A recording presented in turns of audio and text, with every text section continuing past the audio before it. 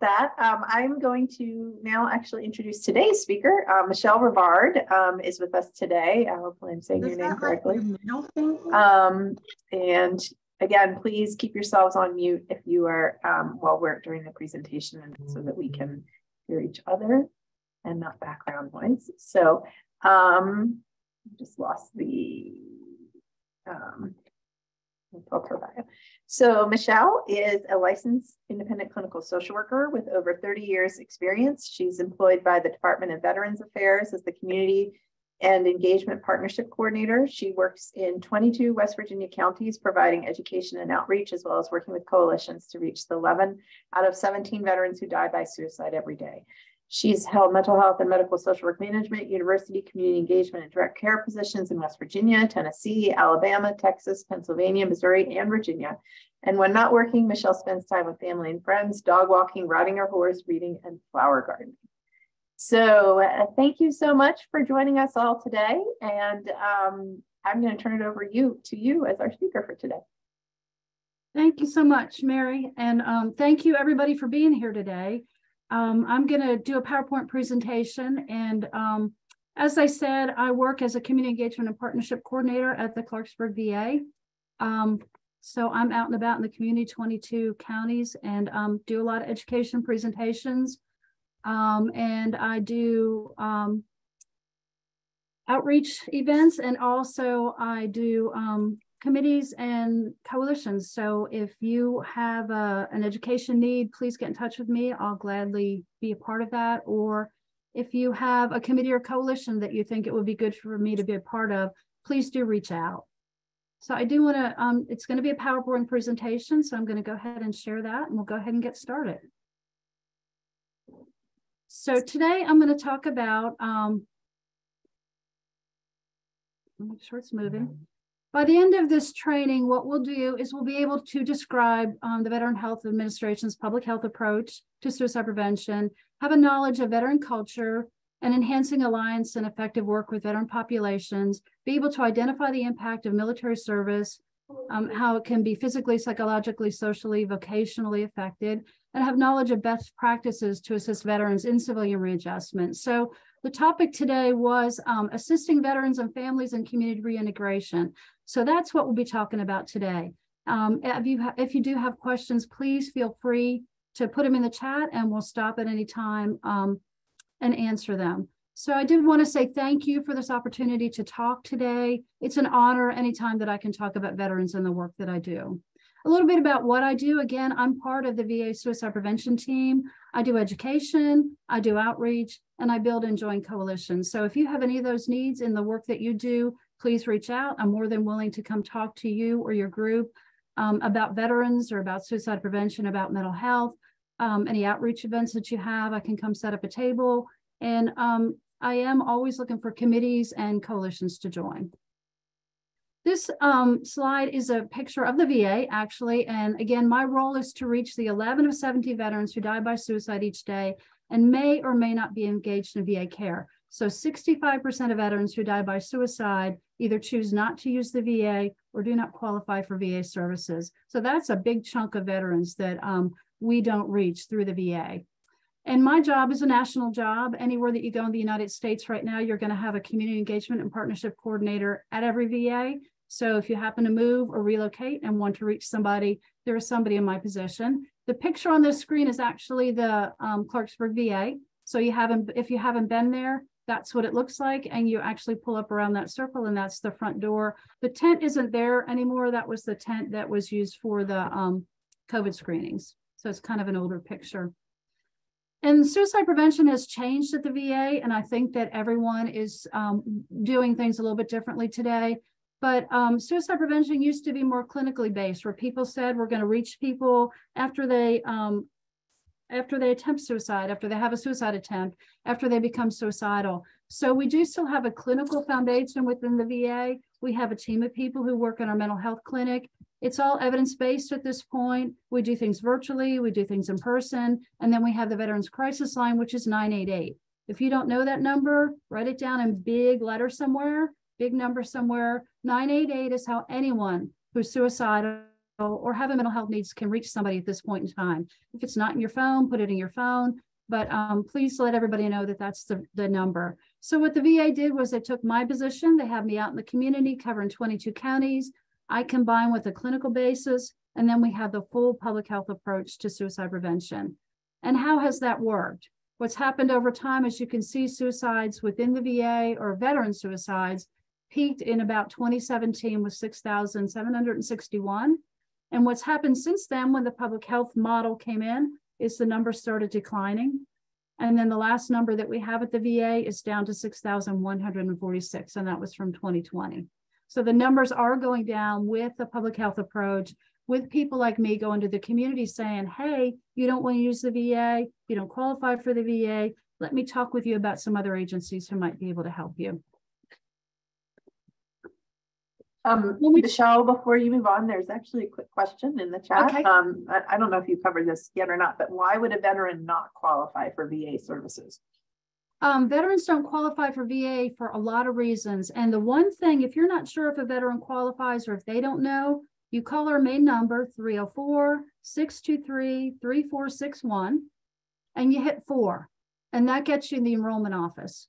And the enrollment office will go through that specific veteran with you um, the veteran's got to, of course, be a part of it. You can't do it for the veteran, but um, they can go through that veteran and find out if that veteran does qualify or not.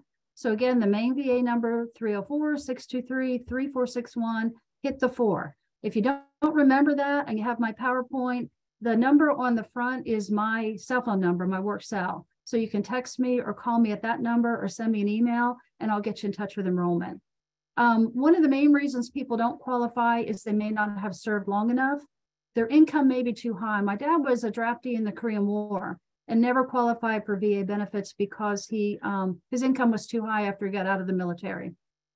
Um, the other thing that a lot of veterans don't realize or people don't always realize is that service connection, when you have something that happens to you in the military that can be called service connection, you would go through um, an evaluation process through um, an organization that kind of works with the VA. And what they do then is decide if that's a service connected condition, even if you can't receive VA services for other things, you can receive VA services for that service connection. So a big one for veterans is hearing loss.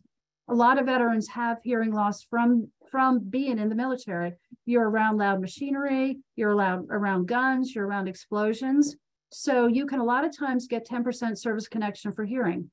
So let's say you don't qualify for anything else at the VA, those $5,000 hearing aids will be provided for you by the VA. So if a veteran comes to you and says, I don't qualify for the VA, hey, let's call enrollment. Let's see if we can find out if we can find a way for you to qualify or at least look into whether you do. Some veterans who didn't qualify in the past qualify now. So that's also shifted over time. And a veteran 20 years ago who said that it won't qualify, may qualify today because there have been changes. So there's, I don't know if you want there's one more question in the chat. Okay. Do you want me to just pop That's in with great. that or do you want to? Okay.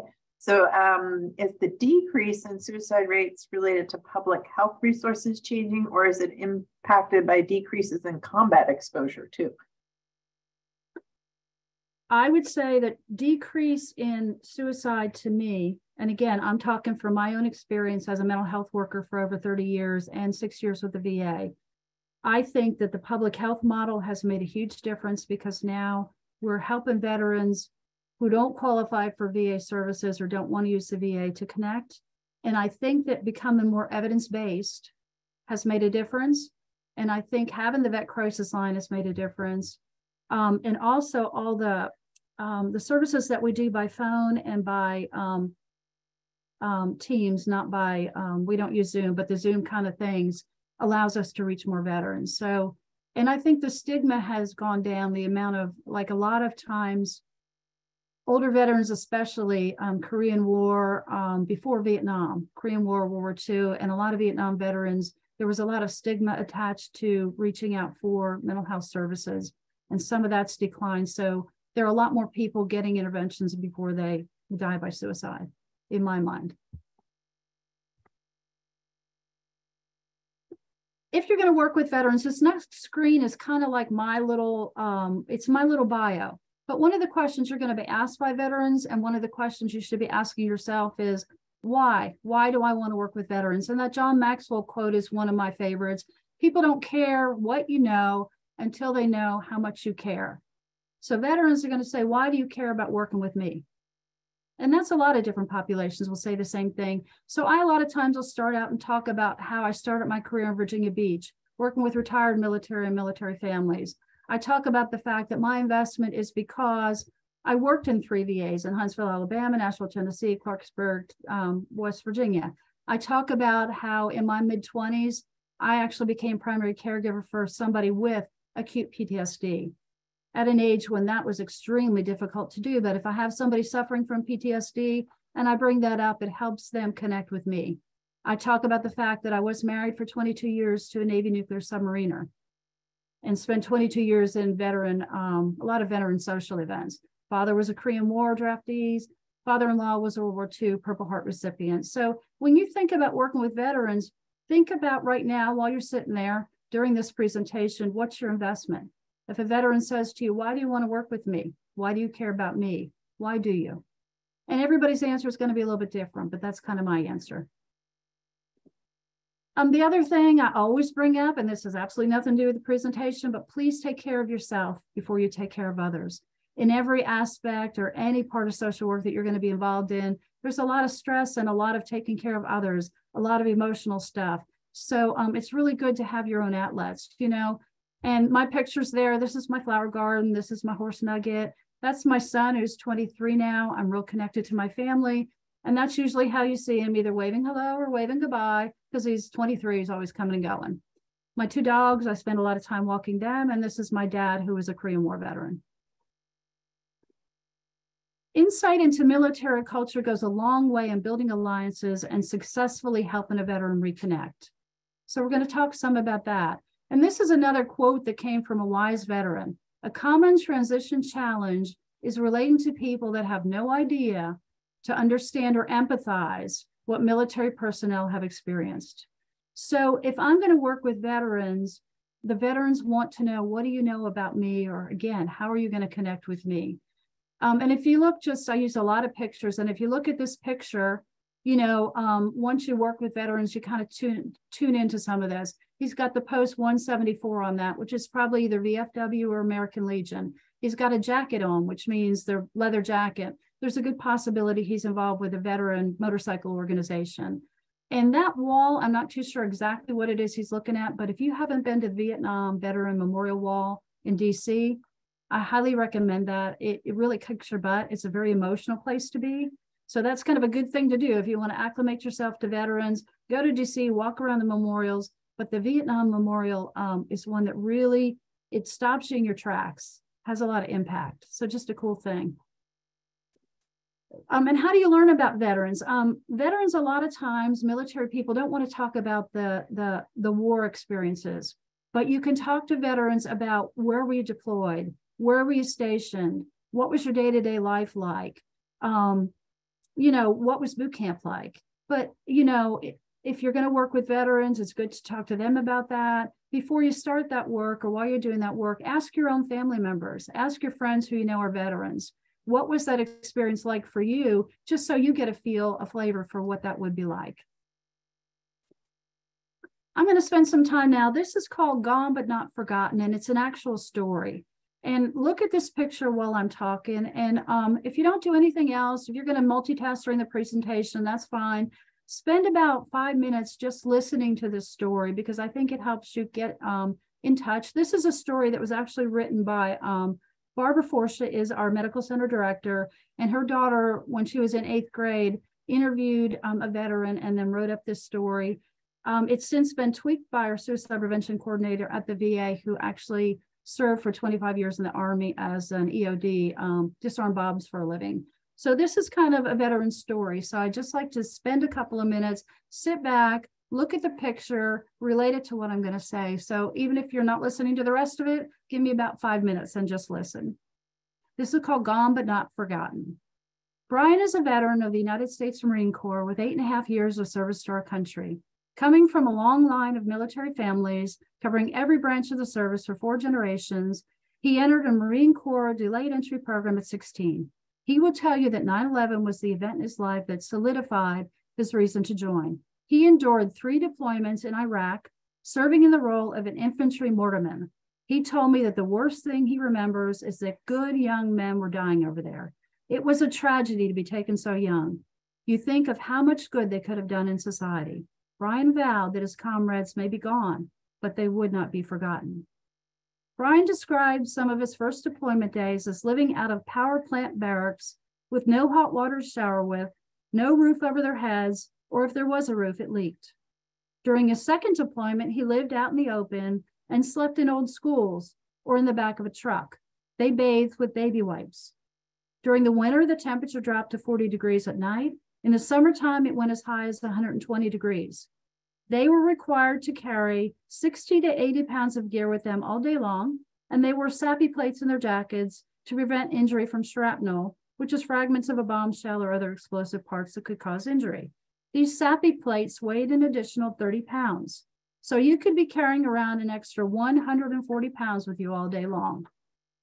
No amount of preparation readies you for war. Training is nothing like the real thing, Brian said. You are literally scared shitless.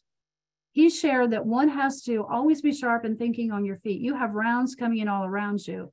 Your survival skills kick in and you learn to react and think about it later. He told me, I had a very heavy responsibility on top of all that to keep my Marines safe and bring them home. That is a huge expectation of a young man. Brian said that after seeing combat, you are changed forever. He said all the life events that you will take seriously, such as getting married, having a baby, buying a house, none of it is serious after seeing combat. All those other things seem so minuscule in comparison. Then Brian said, if none of that is bad enough, you come home and life has passed you by. Things are not the same. People are not the same. It's as if you're in a time warp and somehow you don't fit in anywhere. People do not understand you and you don't understand them. Life for you is so different, and no one can understand where you have been, what you have seen, or what you have done. Your struggle with emotions of being a failure, getting out when your comrades are still in there, like you deserted them, feeling responsible for those you lost under your watch. But the best you can do is vow to yourself that their stories will not be untold and they will not be forgotten. Brian learned that war is devastating to the body, mind, and soul. Your fate is never really known. Will you live? Will you die? Will you come home and ever see your loved ones again? Will you ever be the same person having that experience? I learned that the value of what our servicemen and women do for us and for our freedom can never be repaid. Brian said that he saw the best in people during the worst and most inhumane of times. Brian shared an anecdotal story about children who were living in terrible conditions. And if you gave them the smallest of things, like a piece of candy, you would have thought you gave them pure gold. I could tell that the effects of the experience of war will be with Brian for a very long time, and that he experienced things that were very hard for him, things that threatened tears in the eyes of a grown man. The greatest thing I learned from Brian is that even though our men and women are gone, we must never forget them and what they have done for us. So next time you see a service member, thank them and appreciate them for what they do for us each and every day. Because while we sleep in our comfortable beds at night, Brian and his comrades are watching over us while sleeping in truck beds, living in very hot and cold conditions, and dodging the next gunfire or explosive that may take their life. So that's our gone but not forgotten story. We're going to go on now a little bit about military, again, military culture. And when you're working with military, um, each branch of the service is called something different. If you're working with somebody from the Army, they're a soldier. If they're from the National Guard, they're a soldier or airman. Reservists, military reserve force. Marines are called Marines. Navy is called sailors. Air Force is called airmen. Coast, uh, Coast Guardsmen are called coasties. Around here, we work, work primarily with Marines and with soldiers because this part of the United States is mostly Army and Marines. When I was in Virginia Beach, it was almost all sailors. And again, look at these pictures as we're going through this. What's it really like to be deployed? That story we just listened to, it's probably 100 degrees out there. Think about what you wear outside when it's 100 degrees and how long you stay outside. These people, these are guys, but it's men and women are in a helmet that weighs a couple of pounds and that's insulated, so it's hot. They're wearing long sleeve shirts, long sleeve pants, heavy vests over top of that, and leather boots. And it's 100 degrees. And they're not going inside an air conditioning. They're going from outside an air conditioning during the day to a tent probably at night that's not air conditioned. And if you look at this truck, when the guys tell you or women tell you that their backs hurt and their knees hurt, that's a metal on metal truck. There's no shocks in that thing. They're sitting on a metal seat inside a medical metal vehicle with a road that looks like that. And every time they hit a bump, it's jamming their back.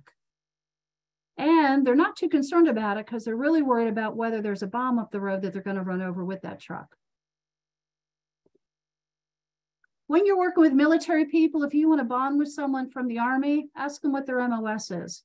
They're going to come back with letters and numbers because they never use letters in the military so that they're clear. They use like the um, the Alpha Bravo Charlie.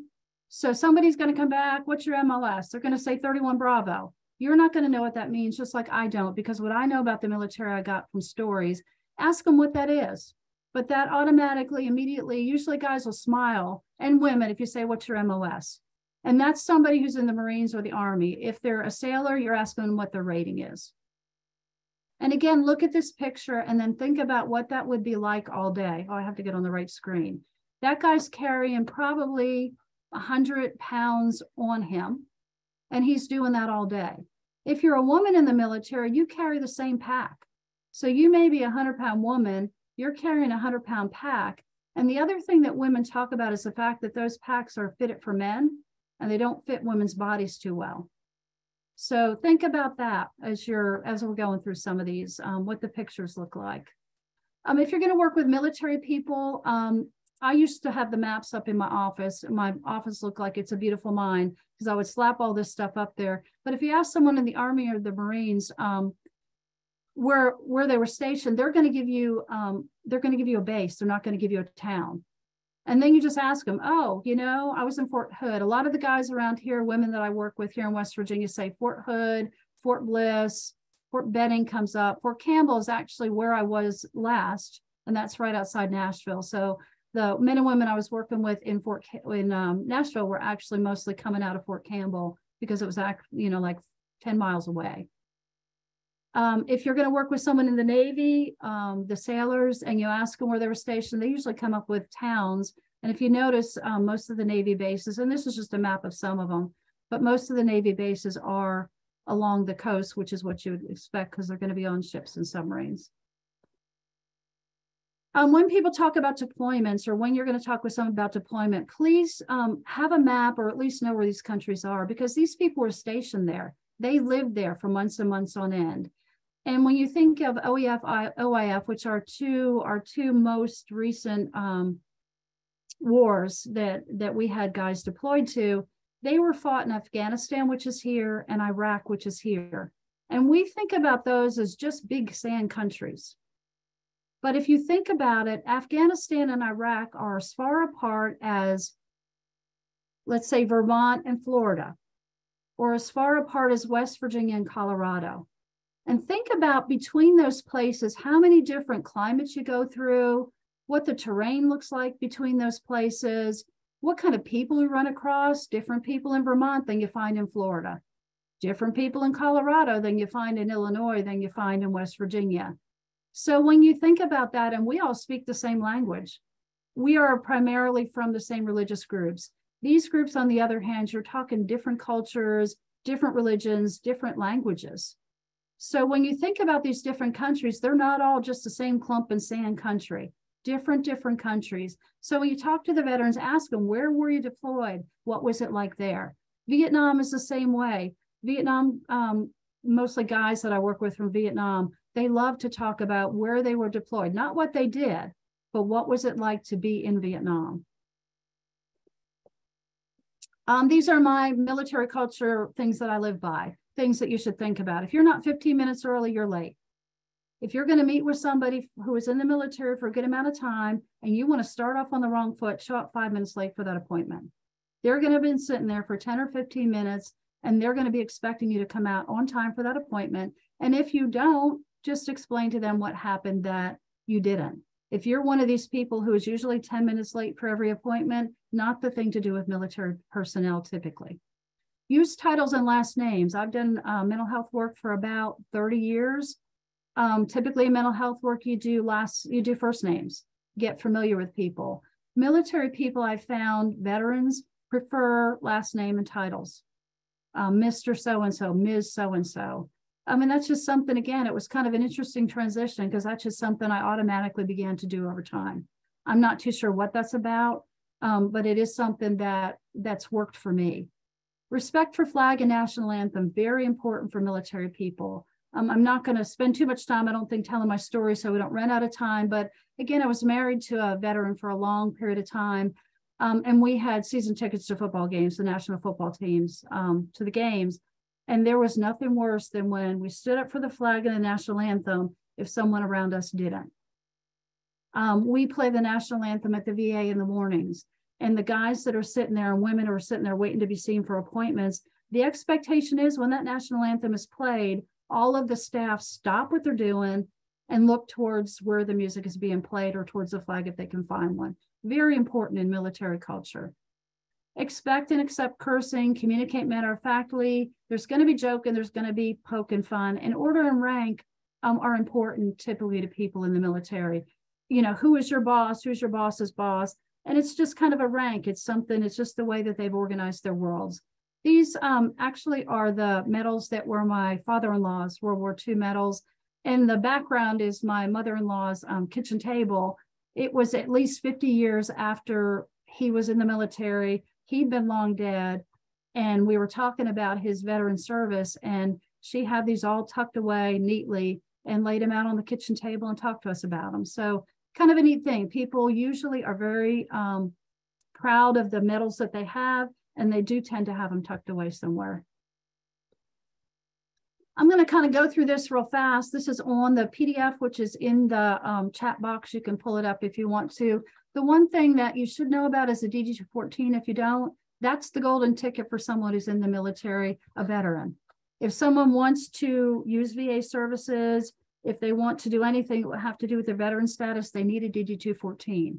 If you don't know how to find a DD-214 or you don't know if they qualify again for VA, get in touch with our enrollment office. And they have these magic ways of finding people's DD-214s.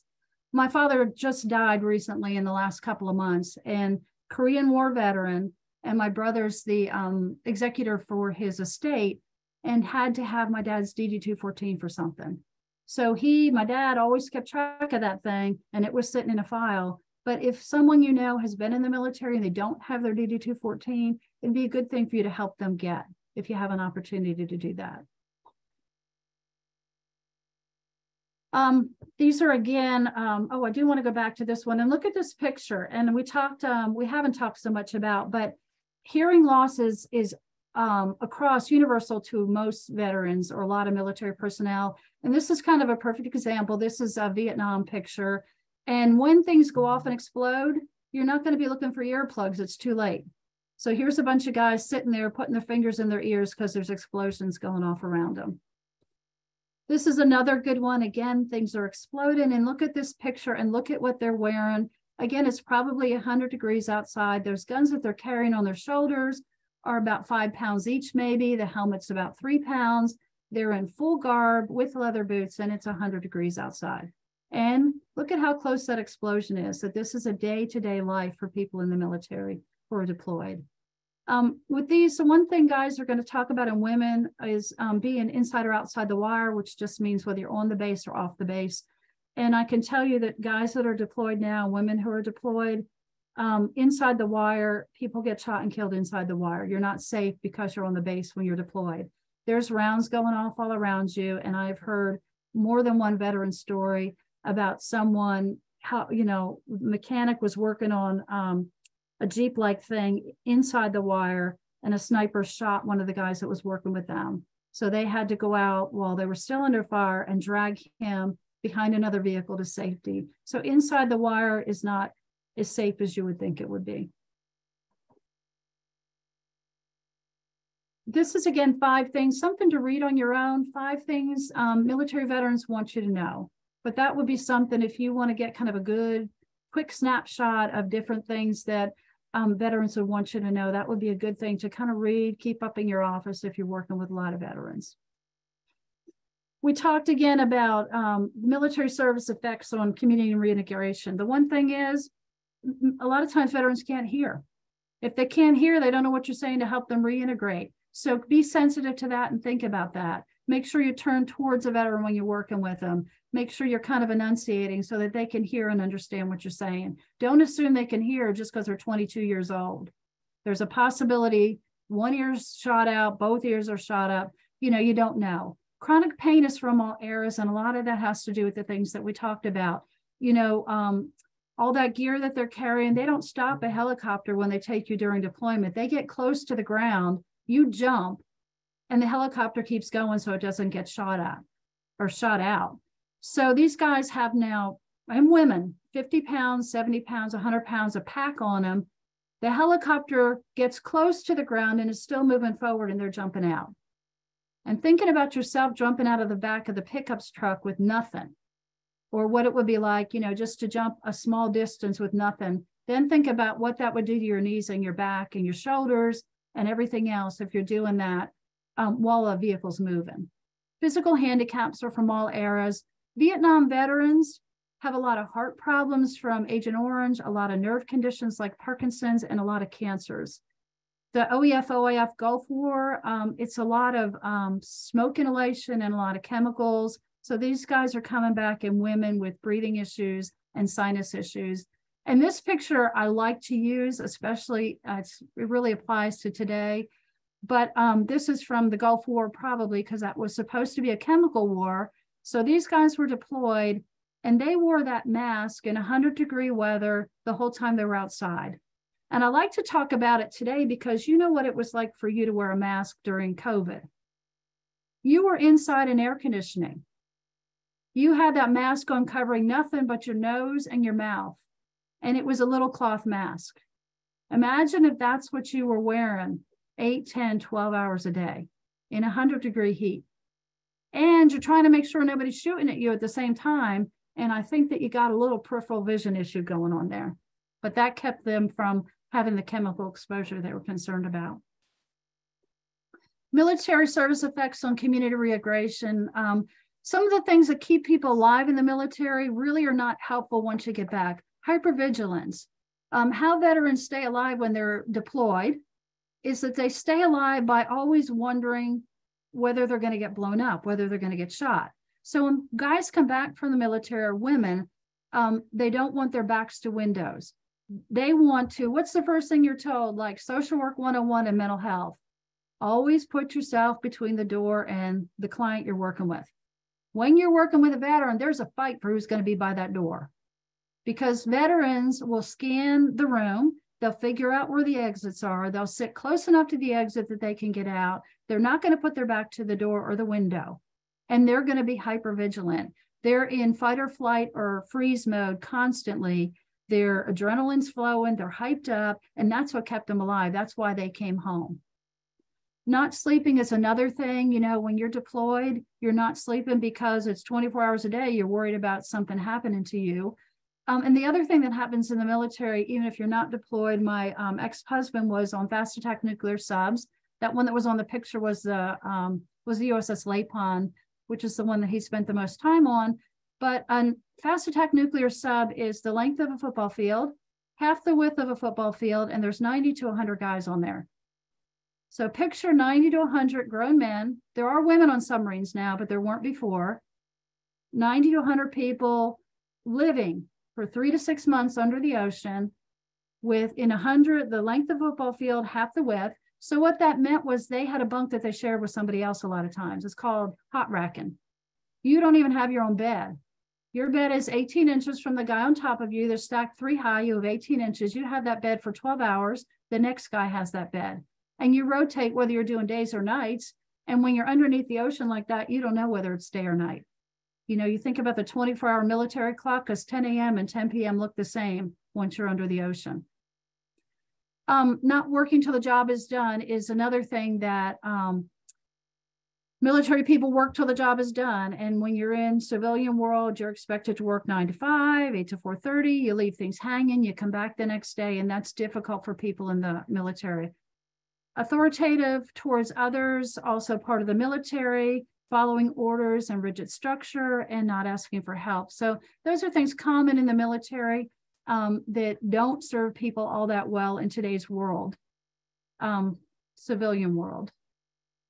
And then again, effects on community reintegration. A lot of veterans are coming back with PTSD, anxiety, depression, and insomnia, which increases drug and alcohol use, and then thoughts of suicide are a piece of that. So always think in terms of when you're trying to reintegrate someone in the military, are those things that they have? Um, are there things that you need to work on in their mental health? This one, civilian world culture that can create veteran family community reintegration challenges, no clear chain of command. I think about my job, I was thinking about my job um, as I was writing this presentation, and I actually have two chains of command. I work for the VA in Clarksburg, so I have a boss at the VA in Clarksburg who has a boss and a boss and a boss there. So we have a chain of command within the VA. I also have a national position, which means I have a totally different chain of command that I have meetings with on a daily basis that is totally separate from the one that's at the Clarksburg VA. So they both give me different messages, and it's my job to integrate those two messages so that I can succeed at the position that I'm in. When you're in the military, if you had two chains of command, you'd have two officers telling you what to do at the same time. That doesn't work. And I think a lot of our positions in civilian world are more like mine where the, there's not a clear chain of command. You have different people telling you different things that may actually not even always, um, they may conflict with each other sometimes. Um, civilian world is less structured. Food, clothing, and housing are not provided. When you think about the military and someone's enlisted in the military, they can eat on base. They can eat. They can eat um, in the mess hall. If they um, choose to live on base or off base, they can go to the commissary, which is a military grocery store to shop at. Um, clothing is provided. When you're in the military, you have uniforms. You don't have to think about what to wear. And housing, if you think about someone in the military, they typically start out living in the barracks. They then live on base. And even once they get to military housing outside of not living on base, um, when you move to like a, you get um, changed to a new location, you kind of have this network of people and all the military guys and women tend to live together kind of at the same place when i was in nashville um, the the base was right across the, the kentucky line and so exit one in tennessee where i was was nothing but military guys the VA I worked at was at like exit six, and I chose to live at exit 11 because I didn't want to live at exit one with all those other military people. I was going to stay where there were more civilian people but military people tend to have this network. So if you're not going to live in the barracks, you're not going to live on base, you kind of have people helping you find housing. So for the first time, these guys may come out, women, 25, 30 years old, they've never rented an apartment before. They've never really had to find housing before. Doctors and insurance is the same way. You have TRICARE when you're in the military, your doctors are on base. So trying to decide how to get, where to get a doctor, how to find a doctor that qualifies with the insurance that you have that's kind of a whole new territory for people coming out of the military. Um, again, leaving your workday, leaving the work incomplete, that can be more difficult. And there's a true loss of camaraderie and close friendships because military people are in the military together. If they're deployed together, they're a real small, intense group that works together. If they're just in the military and maybe not deployed, um, they all tend to live together or in the same place. So um, if they're on base or even if they're off base, it would kind of be like everybody at your workplace living in the same neighborhood. And think about where you live. How many people do you work with that live in your neighborhood? Military, it's kind of like all around you are people that you work with. So it's kind of a whole new world to be living around and being around people who aren't doing what you're doing every day. Reestablishing family roles, reconnecting with family, this can be difficult. This picture again is the ideal of what society thinks um, happens when people come back from deployment, the happy reunifications. My story, when I think about this picture, is that probably this guy's wife was pregnant while he, or girlfriend was pregnant while he was away. She delivered the baby by herself while he was away. He comes back into the country And the likelihood that that baby is going to respond in that way is, is not really all that high. What may happen is that baby's going to scream at the top of its lungs because it doesn't know who that guy is, because he's never seen that baby before and the baby's never seen him. So the guy is deployed in this picture, and the whole time he's thinking about he can't wait to get back to be with his family and to meet his new kid. And when he meets the kid, the kid screams and is scared of him because doesn't know who he is. So the happy endings, how do you reestablish that role as the dad? The other kids have all kinds of anger and pain and feelings about their dad being away and then coming back. The wives have had to do everything while the guy is gone and then the guy comes back and they have to find a way for him to fit back into the family. And it's the other way if it's the woman that was deployed. The woman's deployed, the man now becomes the, the person at home taking care of the kids, taking care of the cooking, the cleaning, the getting them to everything. And here comes this woman who wants to be the mom. I want my mom role back because that's what I was before I was deployed. And the dad now has that role. And it's really a big deal to try to help people reintegrate and reestablish those those roles how to maneuver again so that a, a man and a woman or a man and a man a woman and a woman how two people can live and work in the same household again and um, be a team um, veterans now have to have unassisted community adjustment and um, another story that i like to tell about my uh, my ex-husband is he said the only job he ever applied for was kentucky fried chicken he um went in the Navy um, at 18 when he got out of high school, and he worked at Kentucky Fried Chicken before that. When he got out of the Navy, he was sought after. So, so, that, so the headhunters grabbed him at that point, and he never in his life applied for a job except Kentucky Fried Chicken, and he's retired now. Um, Post deployment job readjustment. Another story I like to tell is I had another friend in um, in Alabama when I was living there, and he was a banker so he ran a bank. He went to work every day and he had on his white starched shirt, his tie, his dark suit, his leather shoes, and he sat at the desk all day and he went to the country club in the evenings and he golfed and he played tennis and did social things. And then boom, he's deployed. He's now dressed in a in a military uniform, fighting with the sand, not taking showers, living and working with um, the other men and women that are part of his unit. And that's a total readjustment. Then he comes back six months later and he's got to get back in that suit with the white shirt, with the tie, with the leather shoes, in the air conditioning, sitting at a desk all day. So the post and pre-deployment adjustment is really, um, it is a tough thing. It's a real thing. And it's our job to be sensitive to it and help people through it. And this again is another happy ending. That's what we want to see or what we think is going to happen is these men and women cannot wait to get back together again after a deployment. But what they find when they do get back together is that there's a lot of adjustment. There have been changes in the person deployed for six months, what they've seen, what they've done, who they've interacted with. And then the other person who's at home has had the same thing. Their life has gone on for six months plus. Um, and then they have to find a way to make their lives get together again.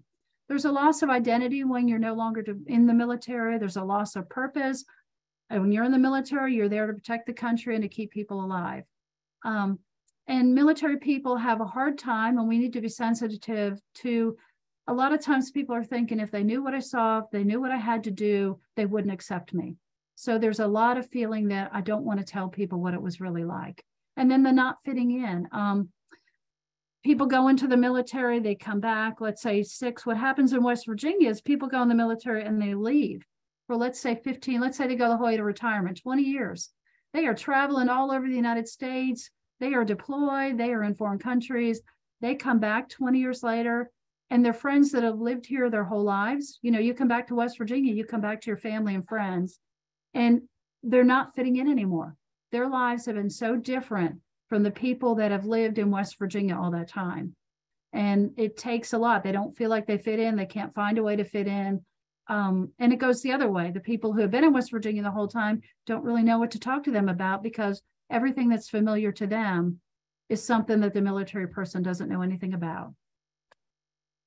Michele, um, we have a few questions and comments okay. in the chat. Is, is it an okay time to take a break and Always an okay time, yes. Okay, um, so the first one is specific about, um, you know, uh, resources, and they're asking if you have any suggestions for navigating TRICARE for mental health treatment and addiction resources.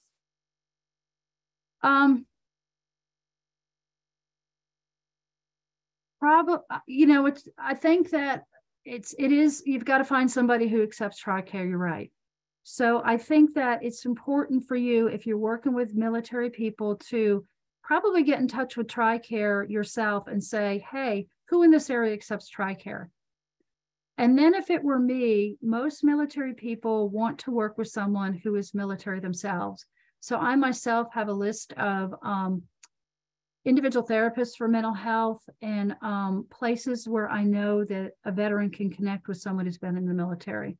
So some of it is just you. I would use TRICARE, like I call a lot of insurance companies or have in the past, and ask them, you know, who accepts their insurance and the other thing that you can do is if you know you're going to be working with um, people that are veterans, you can do some Googling yourself and look at who are the mental health providers in my area, which ones say on their websites that they are military or were, were military.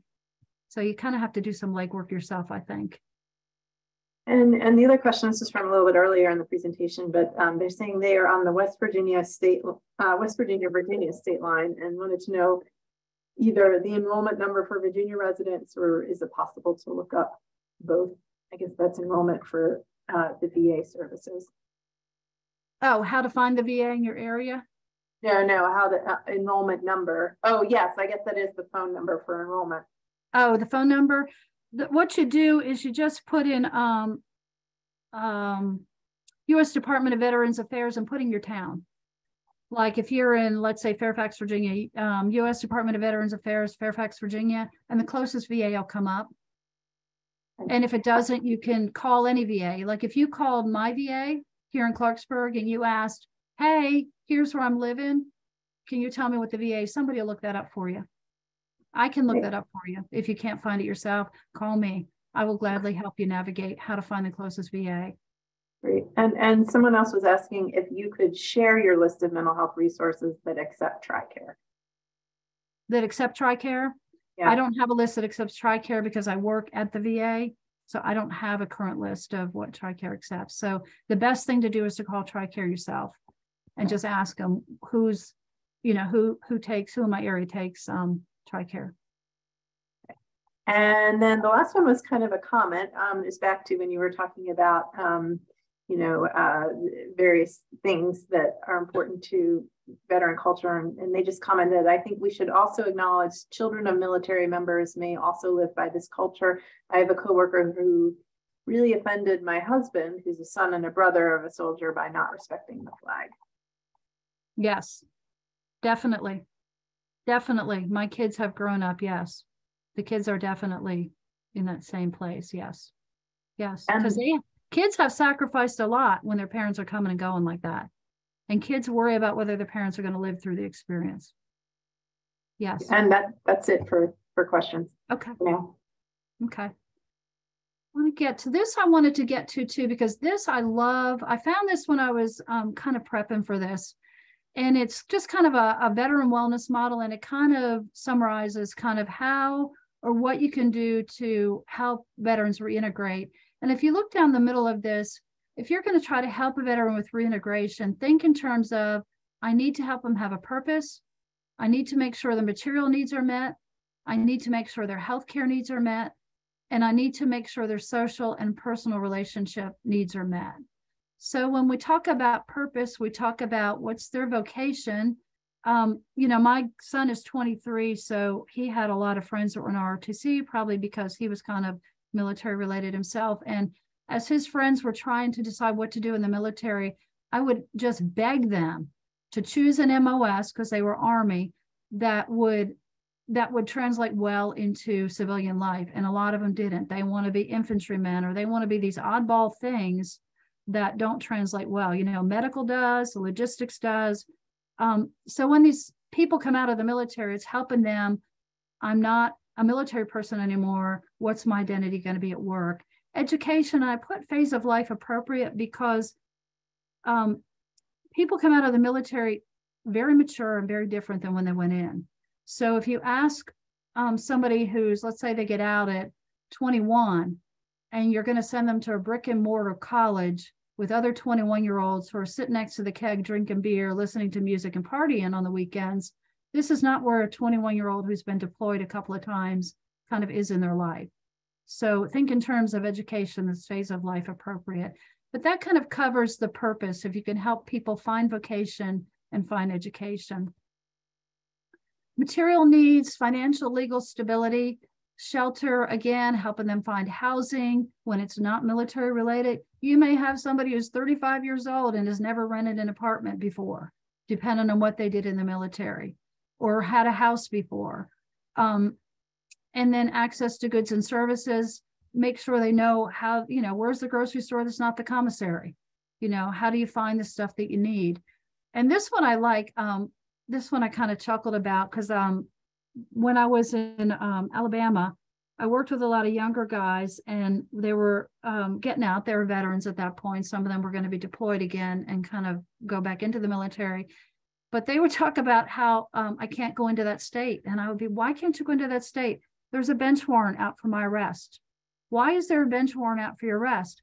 Well, you know, I had these uh, these speeding tickets and I didn't pay them because I got deployed or I got moved to another um, station, another um, base in another state. I didn't get them paid before that. I didn't get to, get to go to court when I raised a ruckus and you know kind of had to go to jail for the night. I didn't go to my court date because I was in Iraq or I was in the next, you know, I was already stationed at the next station when my court date came up. So these guys would, um, I kind of heard that over and over again. Well, I have a bench warrant out for my arrest. And um, we have all kinds of stuff now where we can help people. We have VJO at the VA, um, which is Veterans Justice, and there's other legal entities that will help veterans with some of those issues. You know, there's nothing they could have done. They were deployed, but at the same time, they will be arrested if someone finds out that that's outstanding and they find out where they are. Um, mental health, physical health, access to health care, help veterans navigate that. Again, if you have difficulty, you can always call me. I'm more than willing to help you navigate that and find somebody that will work for the people, the veterans that you're working with or their families. Veteran wellness model, social relationships, family. We talked a lot about social network spirituality. And I kind of um finding a tribe, I kind of put this at the end kind of as a fun little ending, but um I try to work with the groups that I work with, the committees and coalitions. We work a lot on the basic stuff, making sure that people have food, water, shelter, employment, money coming in, because you don't you you have one less stressor against you and you're less likely to become suicidal if you have some of those things that aren't on your mind all the time. The other thing is the veterans feel isolated a lot of times so if we can help get them engaged and involved in some of the organizations that are out there where they're with other veterans, I think it's helpful. So I kind of thought about it and listed some of them. There are a lot of motorcycle veterans clubs. So you can reach out to me, reach out to somebody, Google veteran motorcycle organizations in my area. Um, and they should come up. And if not, get in touch with me. But a lot of um, military people, men and women, do ride motorcycles, and it's a good way for them to connect with each other. Healing Waters is actually fly fishing. So, um, and it's really good for veterans with um, anxiety, PTSD, hypervigilance. You know, it's such a calming experience. So, Healing Waters, it's called. It's throughout the state of West Virginia. I don't know if it's national or not, but a lot of veterans get involved in Healing Waters and seem to get a lot from it. Guitars for Vets is also in West Virginia. And those are groups of veterans who get together. You don't have to know how to play the guitar, they'll teach how to play the guitar but they'll do little entertainment for people and they get together once a week and they learn to play and they practice together and they build um, friends, friendships in there. They have outdoor adventure groups. Um, I'm in another um, coalition with a guy who runs one of those things, and he's always taking these guys on like kayaking experiences and backpacking and hiking, but those are out there. We have two equine therapy programs in our area. Um, one is on Eagles Wings, which is in Fairmont. The other is Stars and Strides, which is in Bridgeport. And they work with veterans um, and help again with some of their mental health issues and kind of give them an outlet. We have VFWs, we have American Legion. So we have all kinds of organizations. The other one that isn't on here is um, Hearts of Gold, the service dogs for people. And then there's other dog organizations that will help veterans that want or need um, emotional support or service dogs. And I think that's about it. Um, victory is always possible for a person who refuses to stop fighting. And when you're working with veterans or anybody, I mean, if you keep getting up, you're not going to fail. And then not today is one of our suicide prevention uh, mottos that, you know, my goal is not today to keep you from dying by suicide today, one day at a time. And that's it. Any other questions? We're getting near the end of time, I think. We are, and thank you, uh, Michele, for this great presentation. I'm just scrolling through to see if there's any additional questions before we finish up. Um, so um, I just want to note that I did post a link to today's evaluation survey in the chat for folks who have a moment to complete it. Um, if you don't have time today, we will um, we will send those out with your certificates. And I see there's a question about certificates. Those will get emailed out um, in the next week. So it'll take about a week. Um, and there was somebody who was asking if, Michele, if you would be mind putting your contact information in the chat for everyone. Yeah, I don't mind. I'll do that. Okay. It's also on the first, if you pull up that um, PDF at the top, it's on the first slide. Okay, great. And we will be emailing out a copy of those PowerPoints that PowerPoint to everyone after the seminar. And I just want to note, I know there were some issues with Zoom capacity. Apparently, we are only able to have 300 people on one of these seminars at the same time. And we've never had an issue of needing more than that because we've never had so many people interested. So Michele, you should be honored that so many people interested. Um, so I apologize to the folks who either were not able to get on or got on and then got kicked off or or and all of that. And, and most of you probably aren't even here if that's the case. But um, we will see if we can fix that in the future. But for those of you who are here, thank you very much. And thank you, Michele, for, for presenting. Um, as a note, next week's Lunch and Learn is going to be for um, MSW and BSW students only. It's about resume and career building. So that's why there's not one next week. Um, but we will be sending out an announcement for the next one that's open to community providers.